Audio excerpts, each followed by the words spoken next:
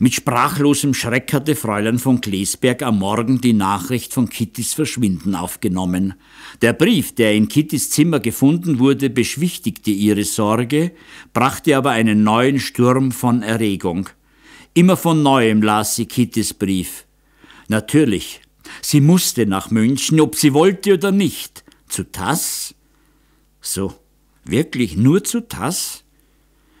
Beim Gedanken an Graf Ecke lief ihr freilich ein kaltes Gruseln über den Rücken. Aber Graf Ecke saß vorerst noch weit da droben in seiner Jagdhütte. Robert war früh am Morgen in den Sattel gestiegen und mit dem Stallburschen davongeritten. Als er gegen neun Uhr nach Hubertus zurückkehrte, da kam auch ein anderer in das väterliche Haus zurück, auf fremden Füßen. Der Fischer hatte in der Seebachklamm den Verunglückten gefunden. Auf seinen Armen brachte er den Toten in das Schloss getragen, umringt von einem Schwarm erregter Menschen. Unter ihnen befand sich auch der Pointner Andres, denn das Geschrei, das auf der Straße entstanden war, aus dem Zaunerhaus gerufen hatte.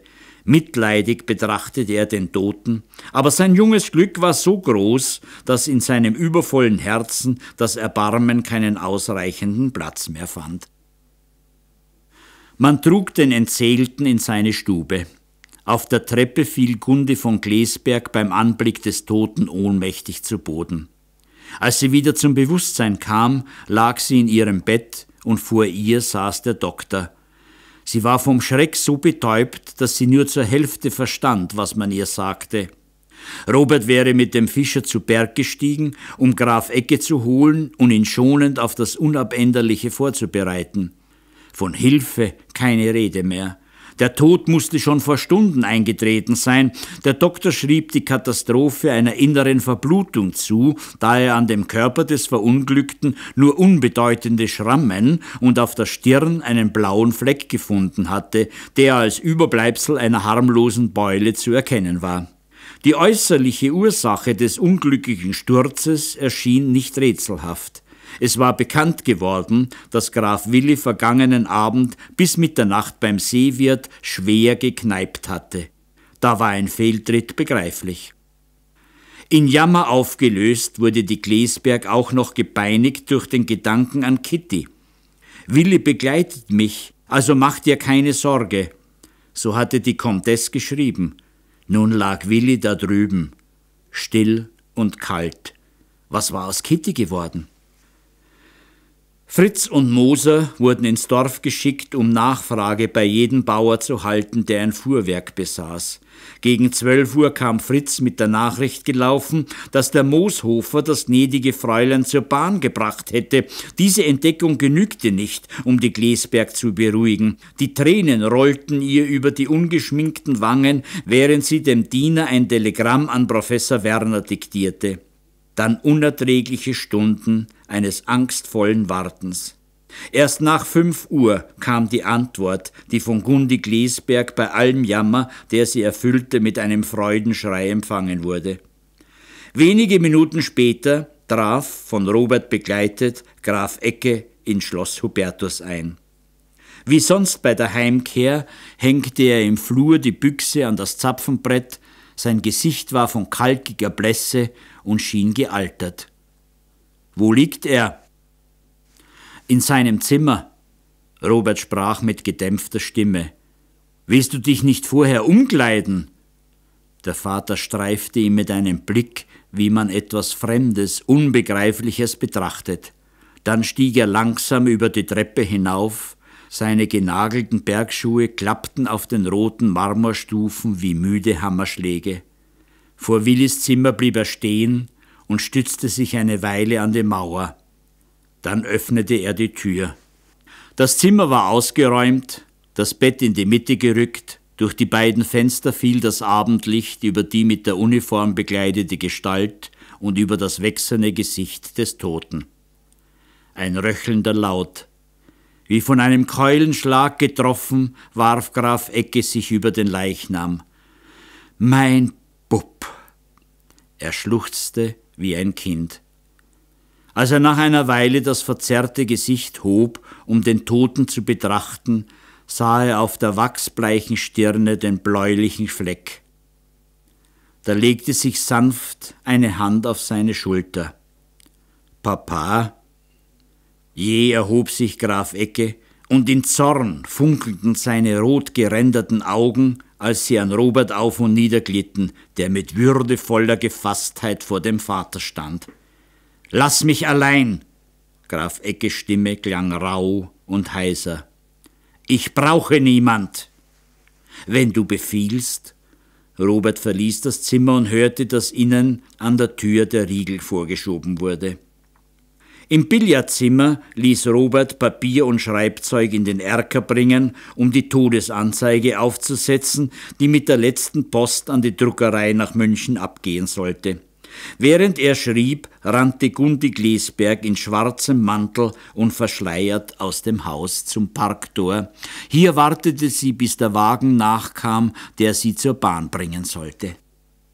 Gegen neun Uhr kam der Wagen von der Bahn zurück, Fritz erschien mit einer Lampe auf der Veranda. Kitty war so schwach, so zerschlagen an Herz und Gliedern, dass sie taumelte und im Flur auf einen Sessel fiel. Der Diener reichte ihr zwei Tepeschen, die gekommen waren. Wo ist der Herr? fragte Gundi Glesberg scheu.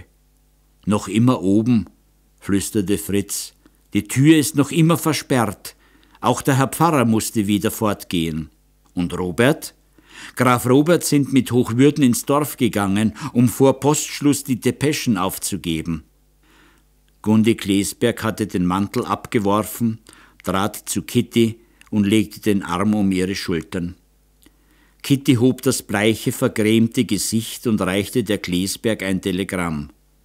Von Tass, er sorgt sich um mich und ahnt nicht, welche Antwort ich ihm schicken muss. Die Depesche war in Augsburg aufgegeben. Er bittet Ratantwort nach Stuttgart, ob du wohlbehalten zu Hause eingetroffen. Tassilo, Hotel Marquardt. Während Gundi Glesberg las, machte ein schluchzender Laut sie aufblicken. Kitty hielt die zweite Depesche an die Lippen gepresst. Ein Strom von Tränen ging über ihre blassen Wangen. In verstörter Hast verbarg sie den Zettel an ihrer Brust und streckte die Arme ins Leere. Ich will zu Papa. Droben fand sie die Tür verschlossen. Schluchzend warf sie sich gegen die Bretter. In der Stube ein schwerer Schritt, die Tür wurde geöffnet, im Schatten der flackernden Kerzen stand Graf Ecke auf der Schwelle. Um die wirr von den Schläfen abstehenden Haarbüschel und um die zerzausten Strähnen des Bartes irrte ein matter Kerzenschein. Rote Lichtlinien umsäumten die nackten Knie. Aufschreiend warf Kitty sich an den Hals des Vaters. Er fragte nicht, weshalb sie so spät erst käme, und hatte keinen Blick für das weiße festliche Kleid, das sie trug. Mit leidenschaftlicher Zärtlichkeit umklammerte er die Tochter, dass sie stöhnte unter dem Druck seiner Arme. Er zog sie zum Bett. Schau, kleine Geiß, mein guter Bub. Er ließ sich auf den Bettrand sinken und zog die Tochter auf seinen Schoß. So saßen sie in wortlosem Schmerz. Das war ihr Wiedersehen nach fünf Monaten. Robert trat in das Zimmer, er trug einen breiten Flurstreifen um den Ärmel. Peinlich betroffen fasste Robert die Schwester am Handgelenk. Bist du von Sinnen? In diesem Kleid?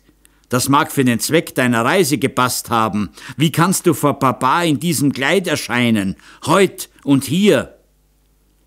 Graf Ecke hatte sich erhoben. Was soll das?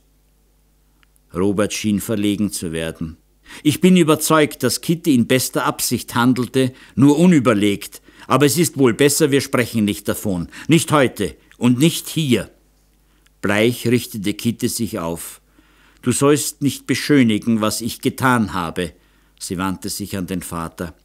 Vergib mir, Papa, wenn ich dir Kummer mache. Ich war heute in München, bei Tass. Graf Ecke schwieg. Kein Zug bewegte sich in seinem Gesicht. Nur seine Lippen pressten sich übereinander, dass sie weiß wurden. Verstört sah Kitty zu ihm auf. Ich wusste, dass ich ein Unrecht an dir beging, aber ich konnte nicht anders.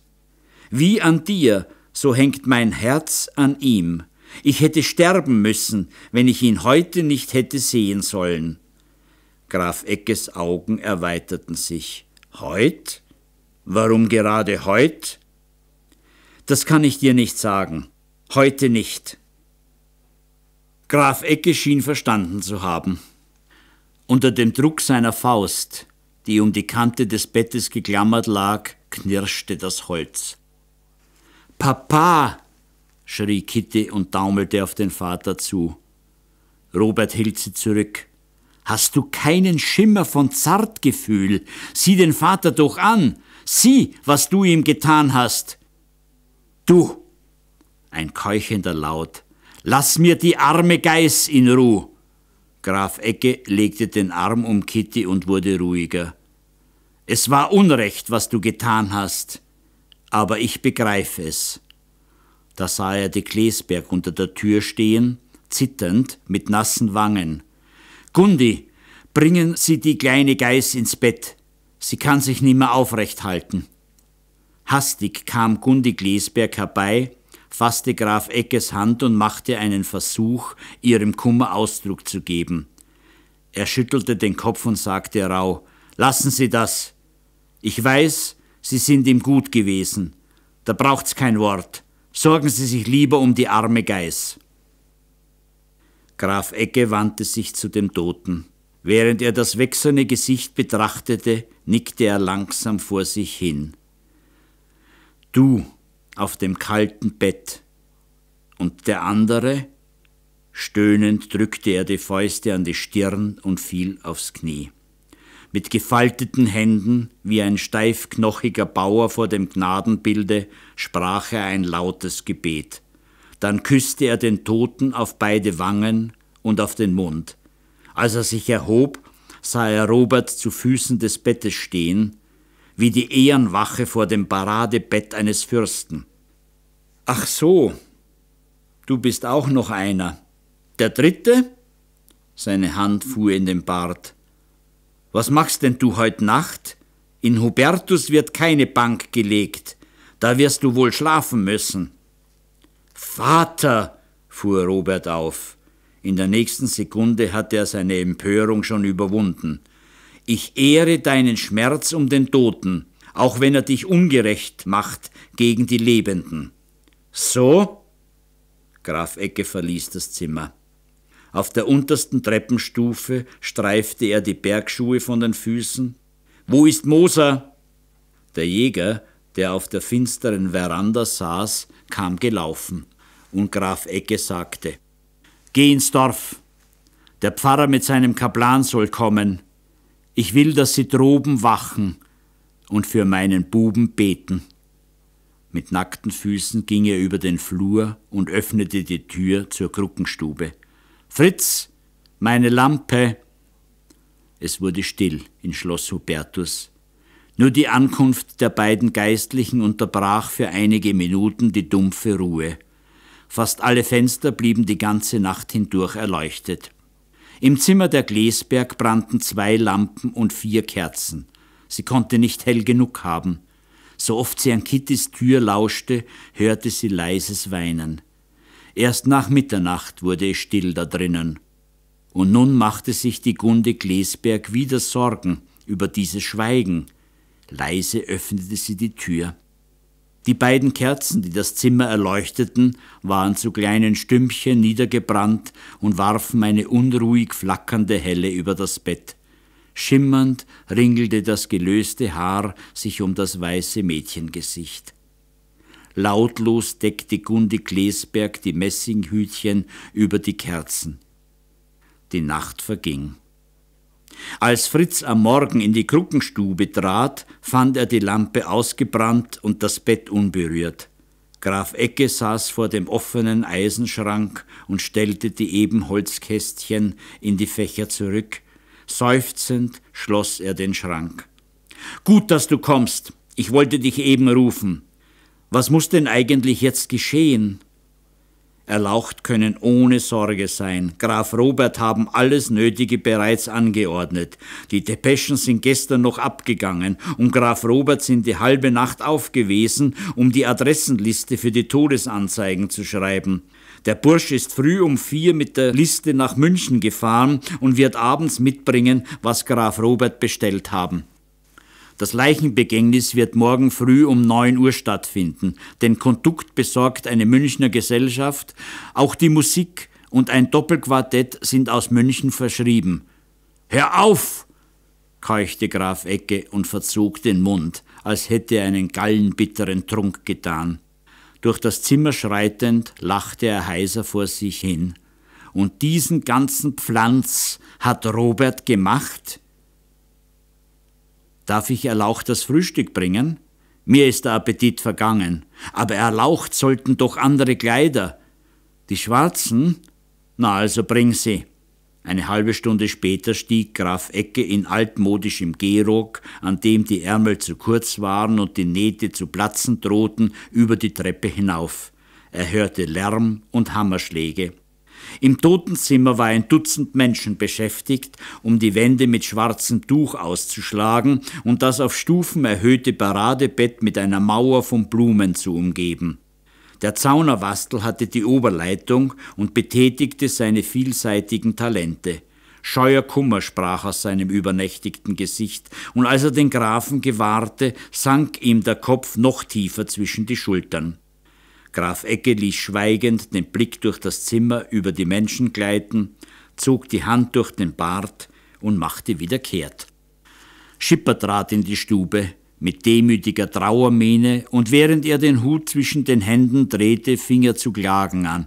Mar und Josef, lieber Herr Graf, was sind denn jetzt für Sachen passiert? Gestern habe ich mir gar nicht fürstellen können, was los ist. Heut in der Früh, da habe ich mir denkt, jetzt muss den abnormen Rehbock abtragen. Graf Ecke war aufgesprungen. Seine Stirn brannte, als hätte er einen Schlag ins Gesicht erhalten. Mit zuckenden Fäusten trat er einen Schritt gegen den Jäger und schrie Hinaus. Aber Herr Graf, stotterte Schipper verblüfft, hinaus. Du bist schuld, dass ich geblieben bin. Wäre ich mit ihm heruntergegangen, es wäre nicht geschehen. Ich wollte gehen. Du, du hast mich gehalten. Geh mir aus den Augen, Aasgräber, Mörder, aus meinen Augen, hinaus! Diesem Ausbruch sinnlosen Zornes gegenüber hielt es Schipper für ratsam, schleunigst den Rückzug anzutreten. In Meister Zauners Gärtel sah er das feine Lieserl mit dem Pointner Andres umhergehen. Das Mädel schnitt mit einer Schere die letzten Blumen ab und legte sie in ein Körbchen, das ihr Andres nachtrug. Grüß dich Gott, Lieserl, rief Schipper über den Zaun. Machst einen Kranz für Herrschaft? Als ihn die Straße am Brucknerhaus vorüberführte, wurde sein Schritt langsamer. Er musterte die Fenster, kniff die Augen ein und lächelte. Mir scheint, es heut nimmer lang mit dem Grafen und mir. Da muss ich ans Nestbauen denken. Er rückte den Hut und trat in den Hof des Bruckners, dessen Bübchen vor dem Brunnen spielte. He, du Kleiner, ist Malemam daheim? Na, sie ist zum Seewirt um Blumen gegangen für einen Grabkranz, aber der Vater ist daheim. So, der Vater. Lächelnd ging Schipper auf das Haus zu, guckte durch ein Fenster in die Stube und klopfte an die Scheibe. Draußen auf der Straße ging die Horneckerin vorüber, die vom Krämer kam. Dunkel schoss ihr das Blut ins Gesicht, als sie den Jäger gewahrte was wohl der Franzl dazu sagen würde, dass der Schipper bei der Male ans Fenster klopft. Auf dem Ländeplatz begegnete ihr eine Magd des Seewirts mit einem riesigen Kranz aus Eibenzweigen und weißen Nelken. Das war der erste Kranz, der sich in Hubertus einstellte. Fritz trug ihn in die Kruckenstube, aus der man Graf Eckes erregte Stimme hörte, als der Diener eintrat, verstummte sie. Graf Ecke stand neben dem Lehnstuhl, in welchem Kitty saß, schwarz gekleidet, die zitternden Hände im Schoß, mit verweinten Augen. Zwischen Vater und Tochter schien es ernste Worte gegeben zu haben. Graf Ecke furchte beim Anblick des Kranzes die Brauen, Kitty erhob sich, betrachtete die Blumen in tiefer Bewegung und entfernte ein paar welk gewordene Blüten. Wer hat ihn geschickt? Der Seewirt, gnädiges Fräulein. Sagen Sie, dass wir herzlich danken lassen. Fritz nickte und wandte sich an seinen Herrn. Ich bitte, Erlaucht, was soll ich den Leuten geben, wenn sie Blumen bringen? Geben? Ach so, das wird als Geschäft betrachtet. Ich soll mich quälen lassen und dafür noch bezahlen. Gib zwanzig Pfennig. Matte Röte huschte über Kittys Wangen, während sie stammelte. Aber Papa, also dreißig, das ist mehr als genug. Der da drüben, der das Trauerross auf meine Kosten spielt, steigt mir mit dem Oktoberfestrummel, den er für morgen inszeniert hat, ohne dies bis über die Knie in den Geldbeutel. Kitty flüsterte dem Diener ein paar Worte zu, und als sie mit dem Vater wieder allein war, ging sie müde zum Lehnstuhl zurück. Schweigend, unter wühlender Erregung wanderte Graf Ecke im Zimmer auf und ab, dann blieb er vor Kitty stehen. Kein Wort mehr davon. Dass du ihm die Depesche schicktest, war in der Ordnung. Der da drüben hat mein Unglück auch unserem Schuster und Schneider angezeigt. Aber es war Unrecht von dir, dass du meinen Schmerz um den einen zugunsten des anderen benützen wolltest. Ich hab dich lieb, aber da wirst auch du nichts ändern. Er selbst hat sich gelöst von mir. So mag er seiner Wege gehen. Ich weiß, es ist hart für dich, mit ihm zu brechen. Aber ich bin dein Vater, und mein Recht an dich ist das ältere, und ich brauche dich. Zärtlichkeit ist nie meine Sache gewesen, aber Vater bleibt Vater. Und ich bin arm geworden. Der eine hat mich verlassen, den anderen hat mir Gott und meine Schuld genommen, und der andere da drüben zählt nicht. Meine Jagd und du, das ist der Rest. Meine Jagd will ich festhalten, solange ich noch gesunde Fäuste und sehende Augen habe. Und du? Geld, kleine Geiß, du hängst an mir. In Trauer sah Kitty zum Vater auf. Ungeduldig rüttelte Graf Ecke ihre Schultern. Sei nicht so stumm. Ich brauche Trost. Sag es mir, kleine Geiß, dass ich dir mehr bin als er. Ich will es hören, so rede doch. Kitty erhob sich, das Gesicht entstellt von dem schmerzvollen Kampf ihres Herzens. Sie fühlte, dass es sich in diesem Augenblick für sie noch um anderes handelte, als nur um eine Äußerung kindlicher Liebe, die der Vater von ihr zu hören verlangte. Bleich, aber entschlossen richtete sie sich auf. Als sie die Augen hob und diese von Gram durchwühlten Züge sah, streckte sie die Arme und unter heißem Schluchzen warf sie sich an die Brust des Vaters und umklammerte seinen Hals. Graf Ecke wurde weich. Er brachte es fast zu einem Lächeln, während er Kitty umschlungen hielt und ihr Haar streichelte. Ich danke dir, Geißlein. Du hängst noch an mir, und ich will's vergelten. Vielleicht habe ich auch an dir ein Versäumnis begangen, ich will's gut machen, will dir ein rechter Vater sein, du sollst mich nimmer verlassen. Gib acht, wie schön das sein wird. Im Winter sollst du mit mir reisen, und im Frühjahr lasse ich für uns beide in meinem besten Revier eine neue Hütte bauen, mit einem netten Stübchen für dich, mit jeder Bequemlichkeit, die du haben willst. Und in der Hütte soll eigens für dich gekocht werden. Und schießen sollst du lernen und sollst ein Jäger werden, vor dem ich selber den Hut abziehe. Das wird dir Freude machen, Geld? und dann wirst du munter und glücklich sein und lachen, immer lachen. Zwei Zehen rollten ihm über den Schnurrbart und fester schlangen sich seine Arme um die Tochter. Da fühlte er, wie ihr Körper zitterte. Aber Geißlein, was hast du? Er fasste sie am Kinn und hob ihr Gesicht. Aus diesem trostlosen Blick redete alles andere zu ihm, nur nicht die Wirkung, die er sich von seinen zärtlichen Verheißungen versprochen hatte. Gewiss, Papa, erwiderte sie tonlos, ich werde alles tun, was du willst. So, das klang hart und trocken. Du scheinst müde zu sein. Schau, kleine Geiß, Den Bock habe ich auf 400 Gänge im Feuer niedergelegt. Es war mein bester Schuss. Und die Krug ist schön, gelt? Ja, Papa, sehr schön. Die müde Antwort gefiel ihm nicht. Zeig mir ein anderes Gesicht. Ich seh dir's an, dass du mehr an ihn denkst als an mich und den armen Kerl da droben. Aber du hast mir doch gesagt, dass er sein Glück gefunden hat, auch ohne mich. Also gut, so tröste dich damit, dass er glücklich ist. Er hat das, was er wollte. Wie ein Krampf ging es über Kittys Schultern und Arme.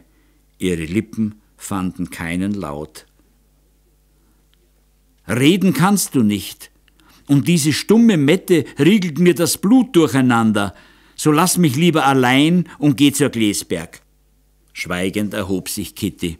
Geis? Sie wandte das Gesicht.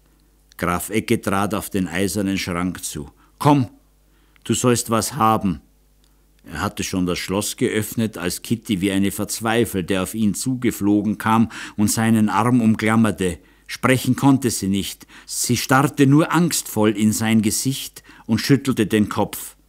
Er sah sie mit großen Augen an, zuerst verblüfft und dann beleidigt. Ach so, du willst nichts. Auch gut. Mit heiserem Lachen zog er den Schlüssel ab und schob ihn in die Tasche. So geh. Sie verließ das Zimmer und schleppte sich die Treppe hinauf. Als sie ihr Stübchen erreichte, vergrub sie das Gesicht in den Armen und brach in Schluchzen aus. Die Klesberg kam aus dem anstoßenden Zimmer. Sie nahm die Schluchzende in die Arme, stammelte, weinte und suchte zu trösten. Eine Weile ließ Kitty diese konfuse Zärtlichkeit, die ihr wohltat, über sich ergehen. Dann trocknete sie die Augen. Aus der Kommode holte sie eine gehäkelte Börse, durch deren Seidenmaschen die Goldstücke glänzten, und stieg in den Flur hinunter. Hier ist Geld, Fritz. Geben Sie reichlich. Papa soll es nicht wissen. Und wenn Depeschen für mich gebracht werden, die Stimme versagte er, nicht wahr, Fritz, ich bekomme sie gleich. In der Kruckenstube wurde die Tür aufgerissen und Graf Ecke erschien auf der Schwelle. Wortlos stand er und wartete, bis Kitty auf der Treppe verschwand, dann winkte er den Diener zu sich. Was wollte sie? Die gnädige Comtesse haben gefragt, ob nicht Depeschen für sie gekommen wären, stotterte Fritz, die Hand mit der Börse hinter dem Rücken. Wenn Depeschen kommen, werden sie mir gebracht. Alle. Ganz gleich, welche Adresse sie haben. Er trat in das Zimmer zurück und schlug die Tür zu.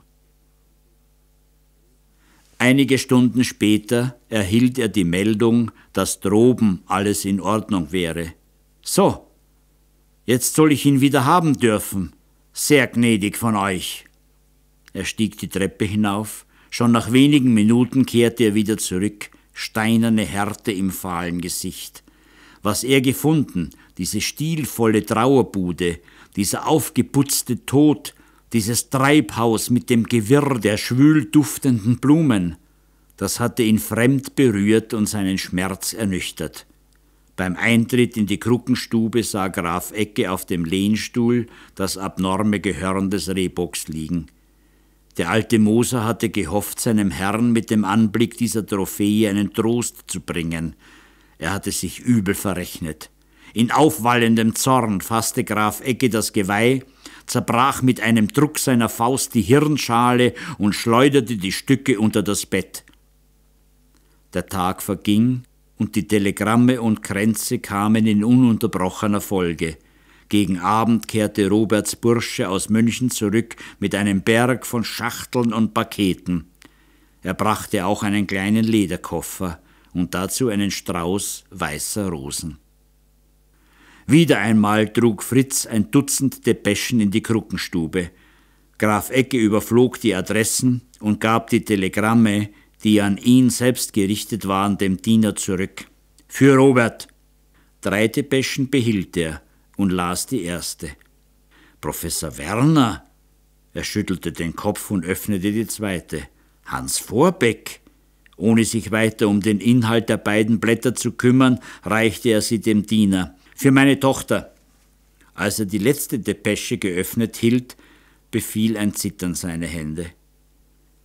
Mit heftiger Geste winkte er dem Diener zu gehen. Nun las er. Wie von einer Schwäche befallen, ließ er sich in den Lehnstuhl sinken. Er hat ihn lieb gehabt. Ungestüm die weiche Regung von sich abschüttelnd, die ihn wider Willen erfasst hatte, sprang er auf. Wir sind zu Ende miteinander, er und ich. Mit zuckenden Händen zerriss er die Depesche, warf die zu einem Knäuel geballten Fetzen in einen Winkel und öffnete die Tür. Robert! Laut hallte der Ruf im Flur. Ja, Papa, klang aus dem Billardzimmer die Antwort. Graf Ecke ging der Stimme nach. Als er die Schwelle betrat, fuhr ihm das Blut ins Gesicht. Der Raum war anzusehen wie die Verkaufshalle eines Bestattungsgeschäftes. Offene Schachteln, ein Wust von Packleinen und Seidenpapier, Wachsfackeln, ein Bartuch mit gesticktem Wappen und langen Silberfransen, kunstvoll gebundene Kränze mit langen Atlasschleifen, ein Samtkissen mit Helm und Degen, Halbbouquets aus Palmzweigen und seltenen Blumen, alles kunterbunt durcheinander, auf der Erde, auf dem Billard, Billard, auf den Stühlen. Robert legte die Zigarette weg und trat auf den Vater zu. Verzeih, Papa, das ist ein peinlicher Anblick für dich, aber wir müssen unserem Rang und Namen Rechnung tragen, und ich habe diese schmerzlichen Pflichten mir aufgeladen, um dich damit zu verschonen. Graf Ecke schien nicht zu hören. Von einer mit Gold bedruckten Kranzschleife leuchtete ihm ein Wort entgegen, das ihn näher zog. Er fasste das Doppelband und las dem heißgeliebten, unvergesslichen Sohn von seinem tief gebeugten Vater. Er ließ die Schleife fallen. Moser! rief er in Zorn dem alten Jäger zu, der eben eine neue Schachtel öffnete. Weg mit dem Schwindel und ins Feuer damit! Aber Papa! stammelte Robert. Ein kalter Blick des Vaters. Äußere du deinen Schmerz, wie dir beliebt. Was meine Trauer zu sagen hat, das bitt ich mir zu überlassen. Graf Ecke ging zur Tür und kehrte auf der Schwelle wieder um. Herr Dr. Ecke hat sich für morgen mit dem Frühzug angemeldet. Dieser Besuch ist überflüssig.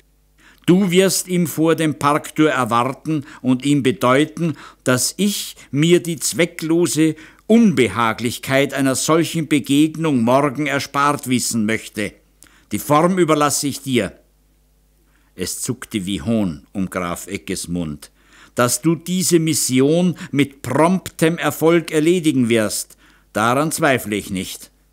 Ohne Roberts Antwort abzuwarten, verließ er das Zimmer, kehrte in die Kruckenstube zurück und stieß den Riegel vor.